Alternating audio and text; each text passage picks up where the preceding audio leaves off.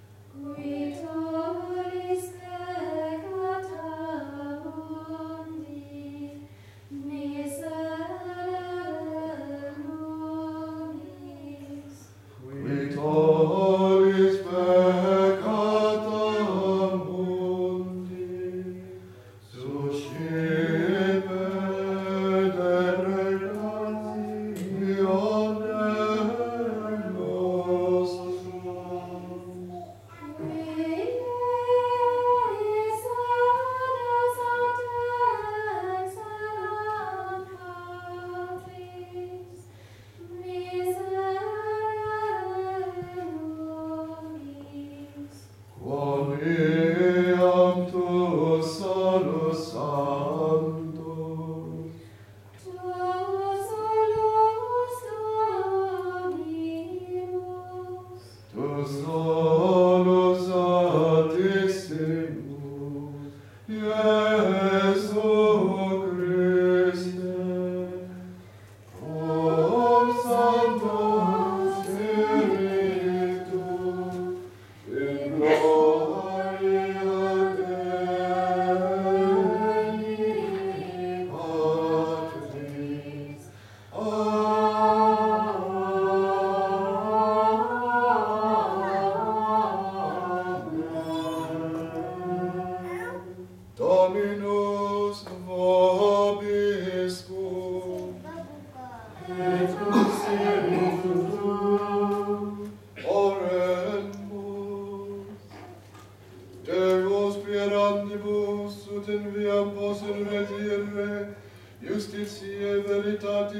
numeros candis.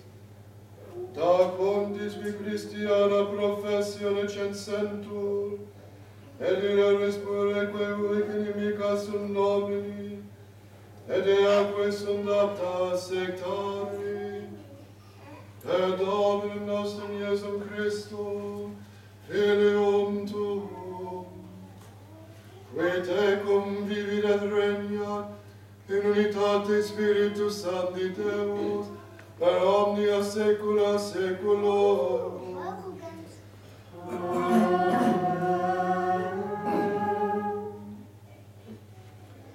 Lessio epistole Beati Petri Apostoli, Carissimi obsecro vos, tam cum alvenes et peregrinos, abstinere vos sacanari vos desideris, quem militant adversus anima, conversationem vestrum intergendes aventes bonam.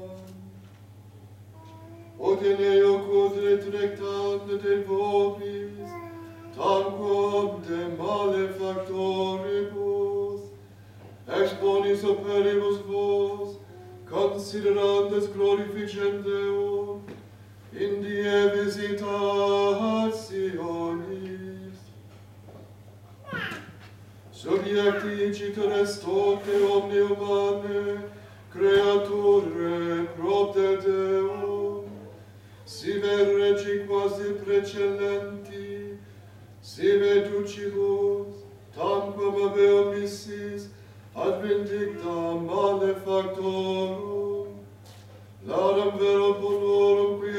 ex voluntas Dei, opere faciendes obmutescere faciatis, in prudentium hominum e ignorantiam. Quasi libere, et non quasi velamina abentes,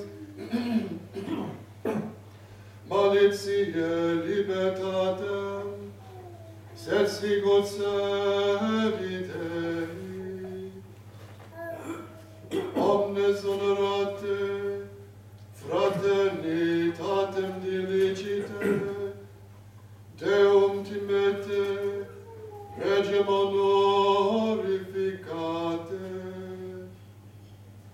Servi subtities tot in omnitimore Dominis, non tantum bonis et modestis, sed et siam discoris ec est enim gratia in Christo Iesu Domino nostro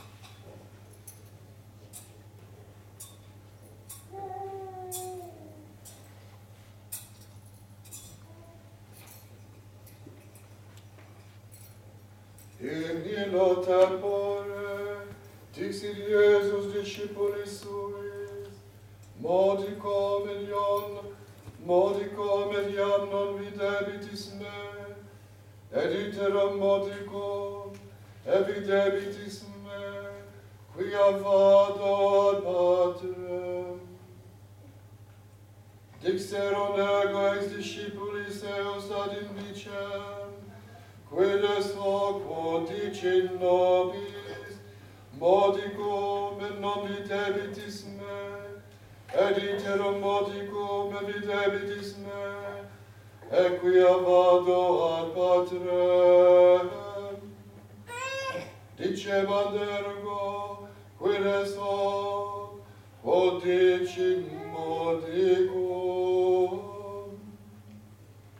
Nascimus quid loquitur, Coniominatem Iesus, quia volebam Deum interrogare, et isi Deis, evacuer itis in te vos, quia disi, modicum en omni debitis me, et iterum modicum evitelitis me. Amen, amen, dico vos, Mariam volabitis et flebitis vos, mondo autem gaudebi, vos autem cantus tabimini, sed tristitia veste vertetor in gaudio. Molie cum parli, tristitia mabe quia venit ora eius, cum autem peperi puerum, iam nomnebili pessere protegatio, quia natus es homo in mundo. Et vos icit non, quidem justitiam abetis, iterum autem videbo vos, ega debit cor ergarium vestrum, nemo tolle davum,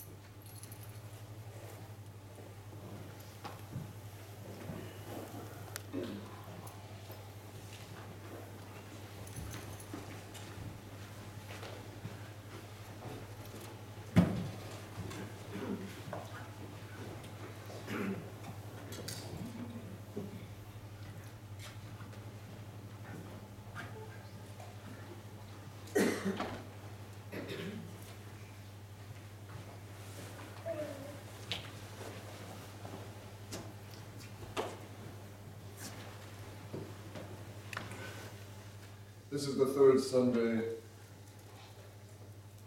after Easter.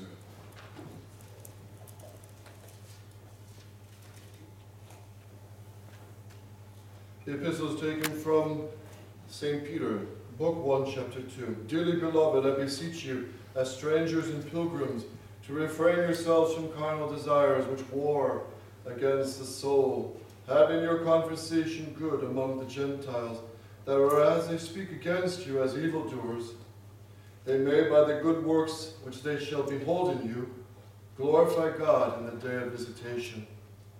Be subject, therefore, to every human creature for God's sake, whether it be to the king as excelling, or to governors as sent by him for the punishment of evildoers and for the praise of the good.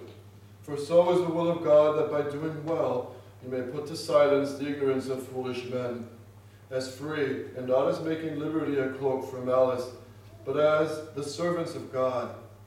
Honor all men, love the brotherhood, fear God, honor the king. Servants, be subject to your masters with all fear, not only to the good and gentle, but also to the froward. For this